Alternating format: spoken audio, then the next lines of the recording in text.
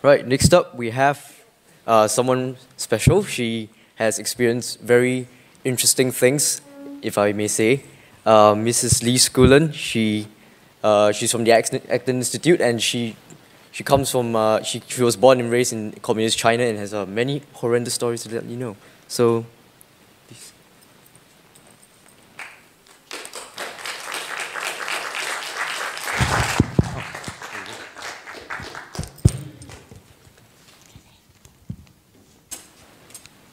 Thank you. Not like uh, uh, Ma Junjie, I have a very short introduction. So I'm going to introduce myself to you through my story. A survivor story. I'm a survivor of the communist dictatorship. I'm not a victim. I refuse to be a victim. There's a big difference between survivor and a victim. That's why I label myself the survivor. So, um, here is uh, my story began. I have to go back uh, more than 100 years ago for a good reason. This is my great grandfather. Uh, Ma Junjie just showed some pictures on the other side of him. Oops, sorry, too fast. Another great grandfather. My grand uncle and aunt. That's another important figure in Chinese history. This is a, a picture of my relatives with uh, General MacArthur in 1942 in the uh, Philippines. They're very good family friends. This is my family. Uh, the one sitting in the sofa, that's my great grandmother with bonded feet, only this big. And uh, my parents on the left, my grandparents on the right, and the middle is my uncle. Uh, that's my parents' wedding picture in Shanghai. Oh, I'm sorry. This was me sitting in the chair and talking about my opinion uh, of um, Charles de Gaulle and um, Macmillan at age four. Just happened they were visiting Shanghai that time. The reason I was showing you all this is my as you can tell, those are just a few of my uh, ancestors. And um, they are the uh, empire of the modern of China. If you read any Ch modern Chinese history book before the communism, before 1949, especially in the sector of the capitalism, um, more than 50% of the people are related into my family. That caused a lot of trouble for me. So I was born as a black kid. Chinese government divided people into black and red. So because my ancestors, I was born black. They had nothing to do with me besides the blood. And their wealth were all taken away in 1950-51 by the Communist Party uh, Ma Junjie showed you a picture earlier, all nationalized. So I never enjoyed a penny of their wealth, and I didn't even meet them, most of them. Some I met. And, uh, but I have to pay for their crime of being rich. So earlier today, a lot of people keep talking about rich, poor, rich, poor. Those are the very terrible labels people put on people, uh, other people. Those rich people, my ancestors, they're value providers. They're, they're creators, they're innovators. They changed Chinese history. They modernized China. They, they open factories, banks, stores, uh, companies, and they provide jobs, opportunities, and uh, the market, everything. But the communists, Mao let the communists label them the rich, so they are the enemy of the people. They need to be condemned because it's not fair. Those people have more than some other people.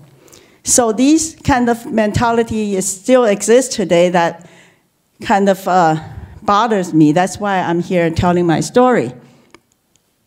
So,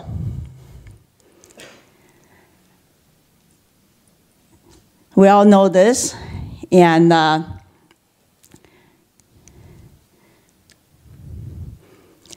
as a black kid, I was never allowed to be one of these people.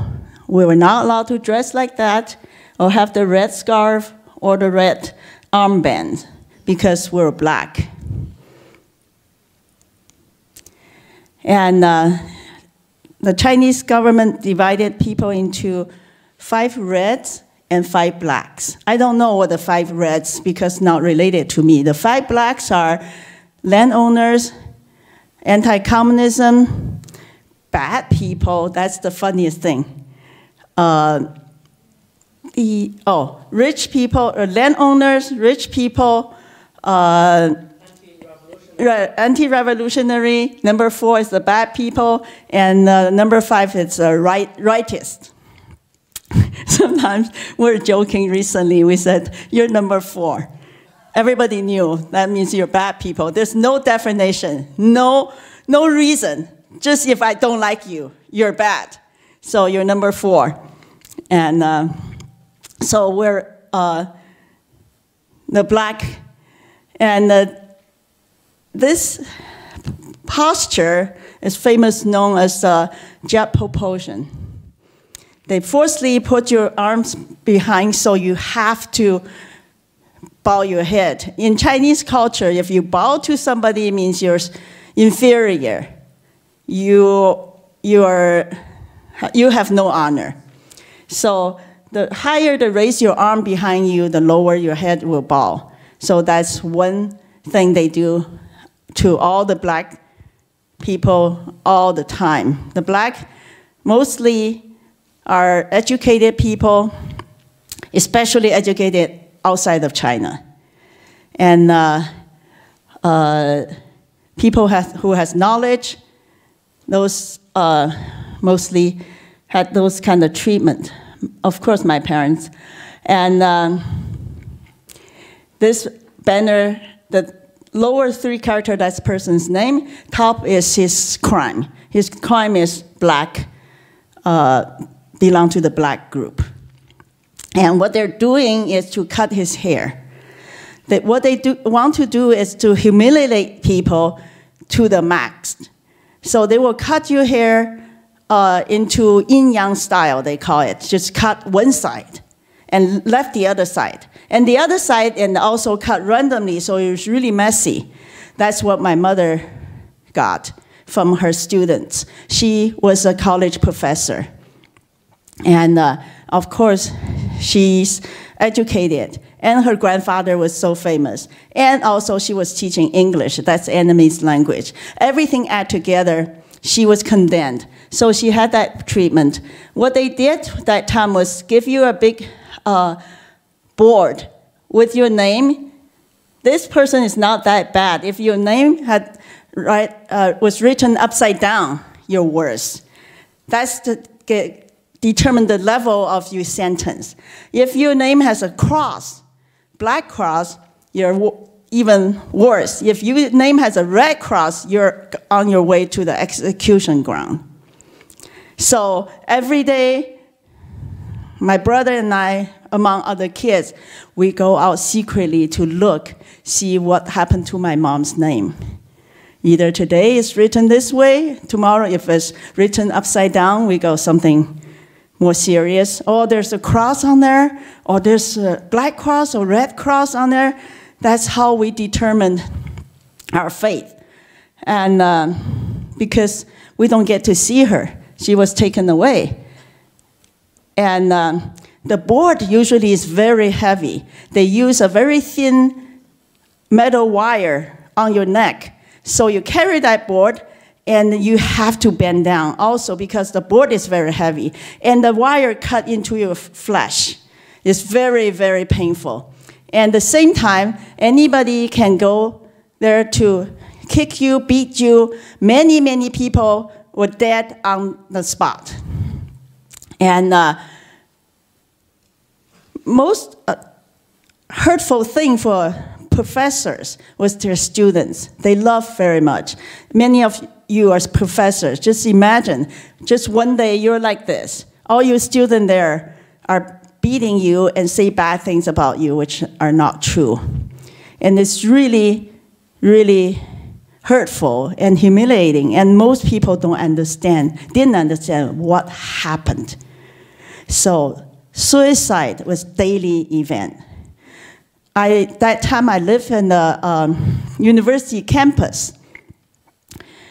All the buildings above third floor, all the windows are uh, boarded to prevent people from jumping down to commit suicide. But still, people find ways to commit suicide. There are, I calculated, about 11 people in my family commit suicide. They couldn't understand what happened. What did I do wrong? The youngest person was my cousin. She was only 16 years old. And my favorite cousin in his 20s. He started by supporting Mao's Cultural Revolution and condemned for some reason and put in prison. Of course, he's from our family, he's black, but he didn't, he tried to prove his, he doesn't want to be black. And his mother first committed suicide by throwing herself in front of a train. His father was the uh, founder of Sichuan Bank, their banking family. And he was put in prison. He didn't know what's, how to live his, the rest of his life, so he went on top of a very tall uh, chimney. And first he drank a lot of lime water and jumped from the chimney.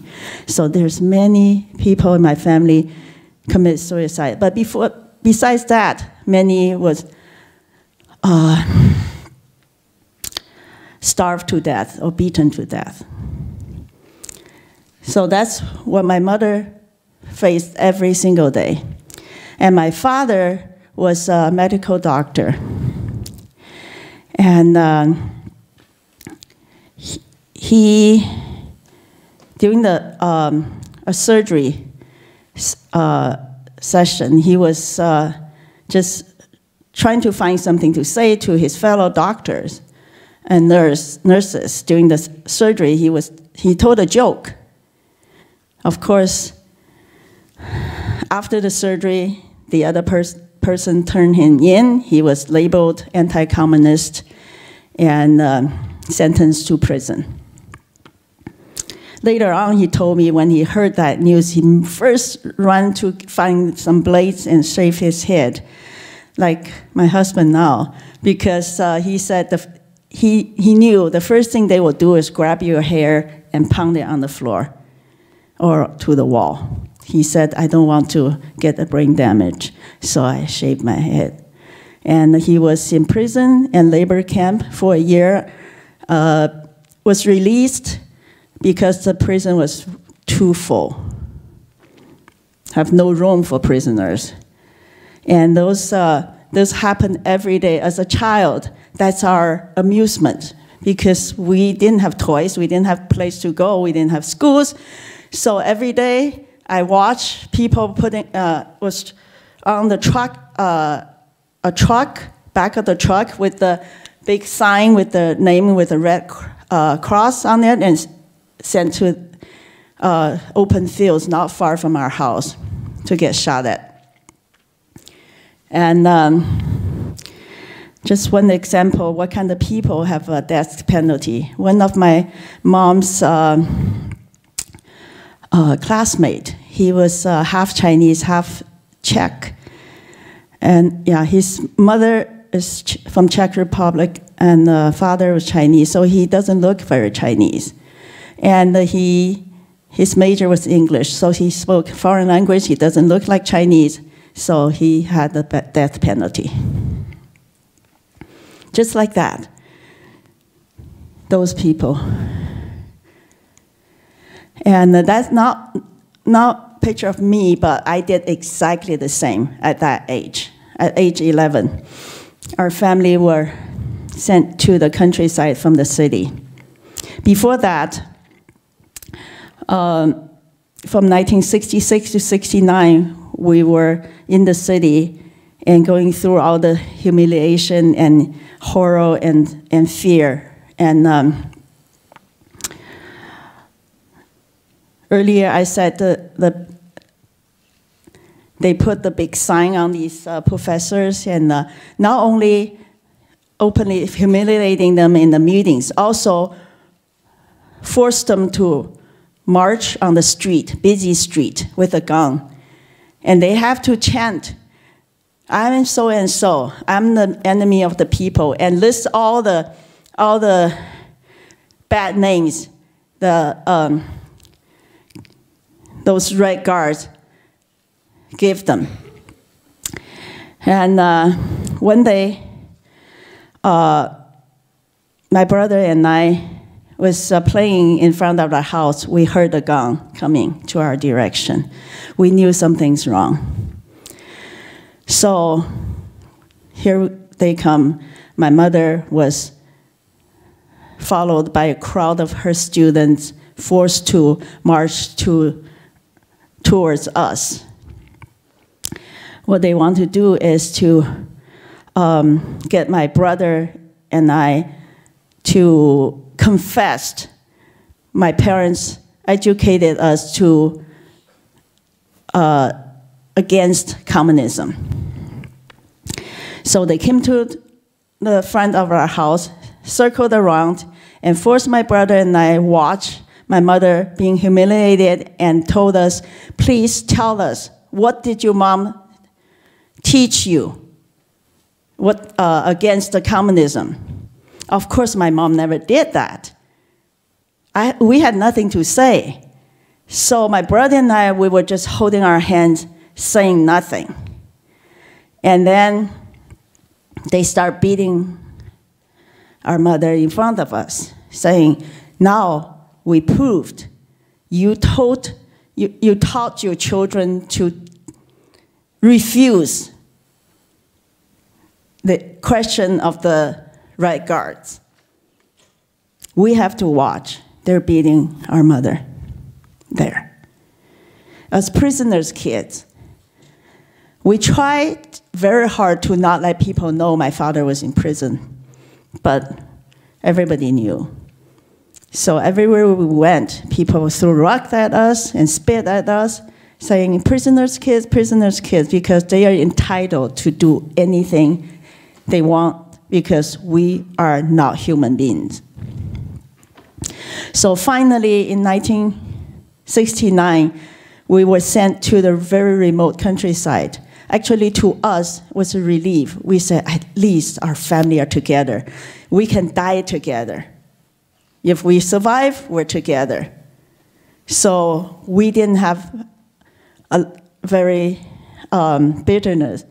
Of course, they took everything we had away our furniture, our clothes, and everything. We're allowed to bring one wood box as a possession, some a few pieces of clothes, and a little, I think, a, a pressure cooker we had, and uh, a sewing machine. My mom insisted. Actually, I insisted because I knew I have to start making clothes for the family and the bicycle. Just a wood box about uh, the size of this. And uh, we went, and we start, that's what I start doing. We didn't have animals to till the land.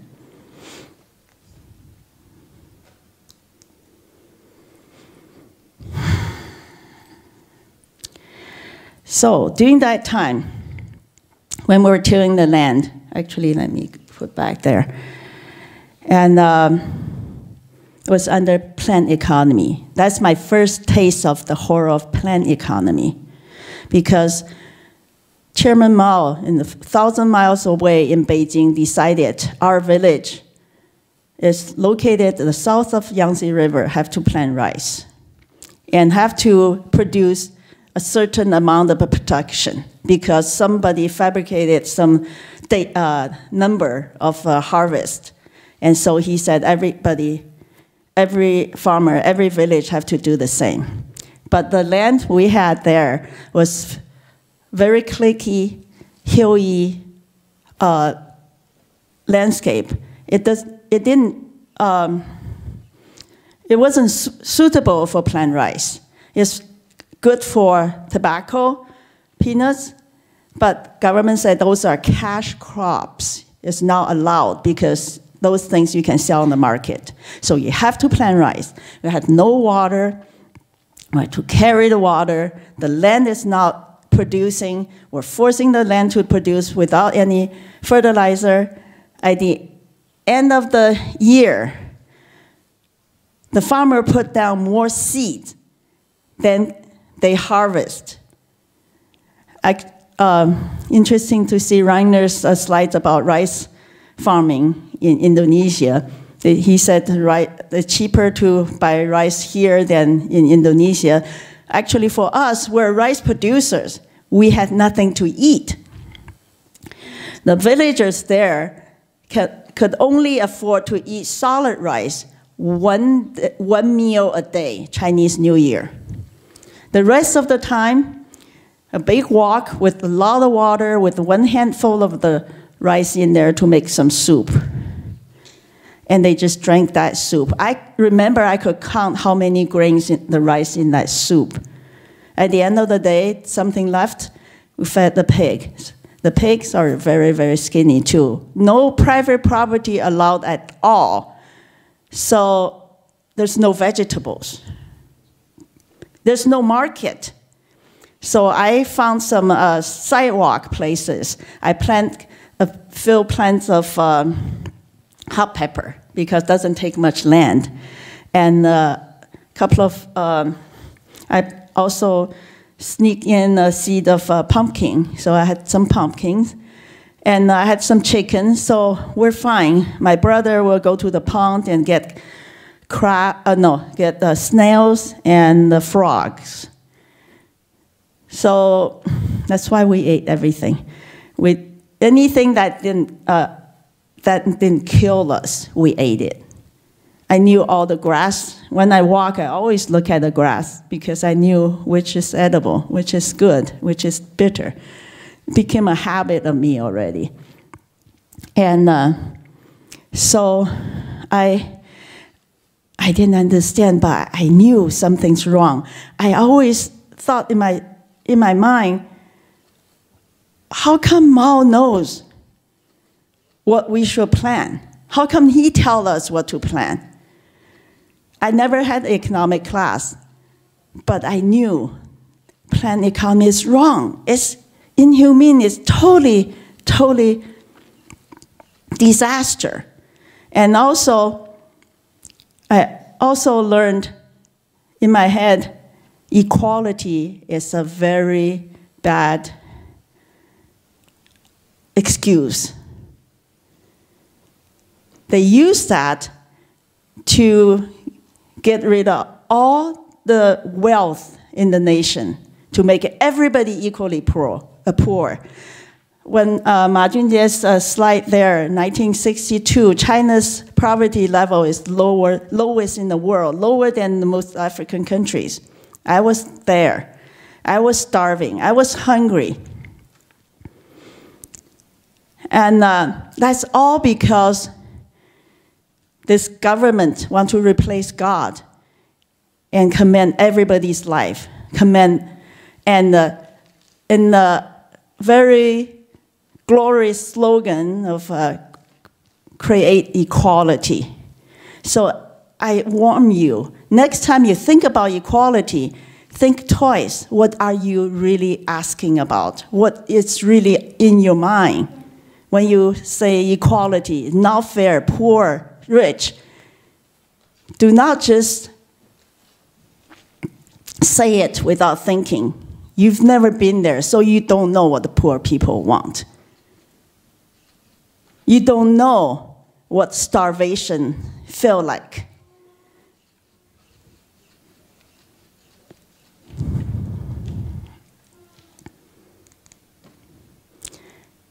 So uh, earlier, a lot of people asked me what is my profession, what I do, and why I do it. This is why. Now, 50 years, years later, China still wanting to go back, not just wanting to go back, is marching towards to the back. This is not 1966. This is 2016. And the song they're singing gave me nightmares. That's what we were singing. Mothers dear, fathers dear, nobody more dear than the Communist Party. Chairman Mao is our salvation, our Messiah is more dear than our fathers and mothers. They're singing this again to, today. And uh, almost, Xi Jinping almost want to change Chairman Mao to Chairman Xi.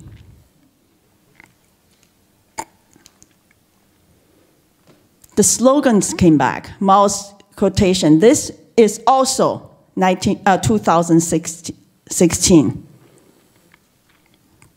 in the People's Hall in Beijing.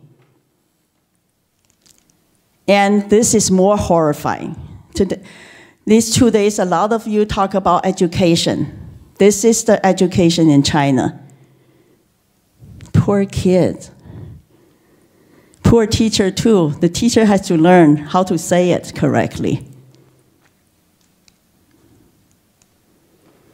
This is not just in China, it's everywhere,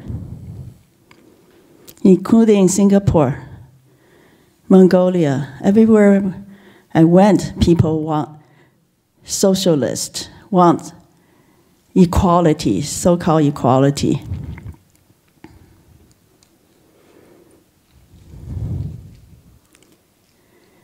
Wedding is no longer between two people. And they praise a couple at their wedding day. They said instead of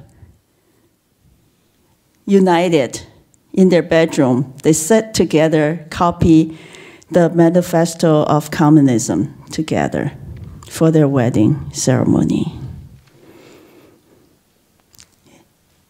That's why I have to tell my story. I have to go around the world to share because these are my life. I didn't learn it from books or movies. I lived through it it was not very long ago. Me lived through it. It's real. It's horrible. I always, always remember four years ago, Dr. Sali said, the fight is not over. I copy him. The fight is not over. It's never over. If we don't wake up, we don't think, we just follow the good feeling of caring. Where are we going? And this is not just for us. I don't want my children, my grandchildren, to live the same life as I did. I don't want anybody in the world to experience the same life as I did. Today in North Korea, people are still living that life.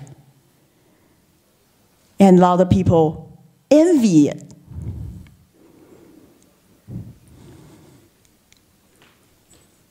How do I play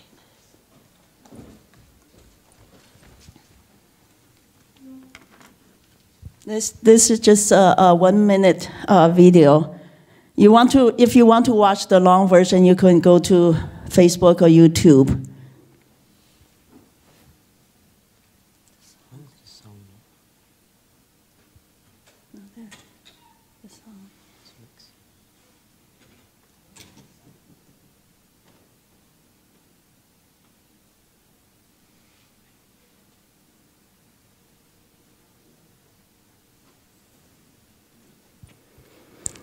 Uh, for a while, uh, for many years, I didn't want to do any interviews. I didn't want to tell my stories. Why? Because the people who persecute us are still in power in China. Not like in Germany, hit, after World War II, Hitler was condemned, or Pol Pot in Cambodia was condemned. Those people Wow. who, who were in power then, they were still in power now. So when I tell my story, not just me, my family safety are in jeopardy. And uh, my parents don't know what I do. My brother doesn't know what I do. I cannot tell them. But this year, finally, I decided I have to tell the story. I cannot just hide behind the, the veil. So that's why I had this interview. God didn't make the world perfect, so men have to make it better, and men will definitely make it better. So, for example, as a um, communist soldier at a very young age, we were ordered to uh, kill all the birds in China because the birds will eat the crops and human beings will have less to eat. So we were um, put on the rooftop, on the, on the tree to make noise, so won't let the birds rest. And uh, the birds were all eliminated that way. And, um, but the backfired. And the, the coming season, the insects, especially locusts, just uh, all over China and destroyed all the crops. And um, three years of uh, famine. And uh, of course, the government called it natural disaster, but it was totally man made disaster because of